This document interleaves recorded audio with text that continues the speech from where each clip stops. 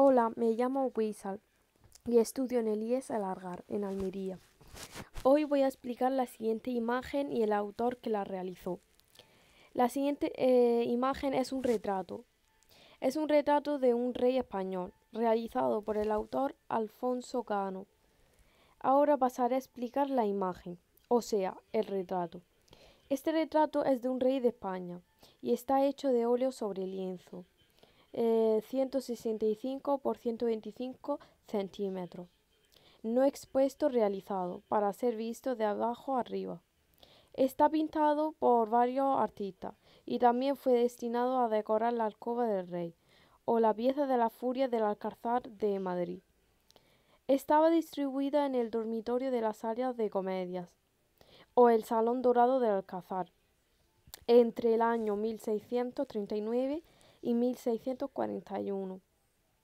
También se cree que Vicente eh, Carducho hizo un modelo para el cual la demo cuadros de la, de la serie se ajustan a él, pero no se sabe nada de la existencia de los posibles repertorios genealógicos que sirvan de una fuente única de inspiración.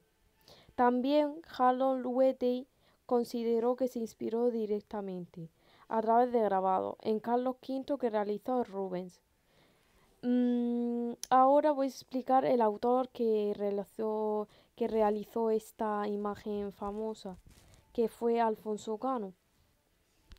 Alfonso Cano fue nacido en Granada en 1601 a 1667.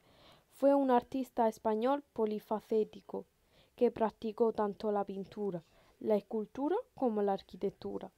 Su padre fue Miguel Cano. Fue maestro, carpintero y retablero.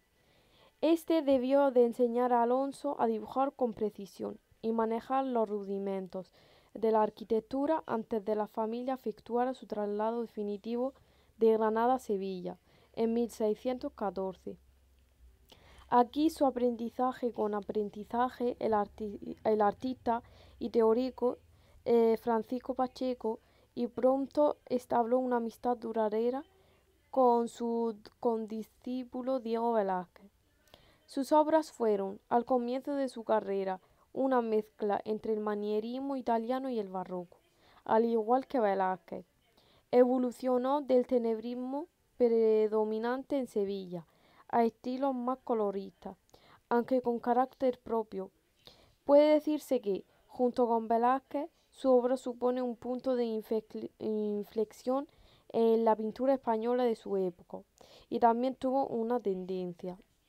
Esto ha sido todo. Espero que le guste y que haya aprendido algo sobre esta imagen. Gracias.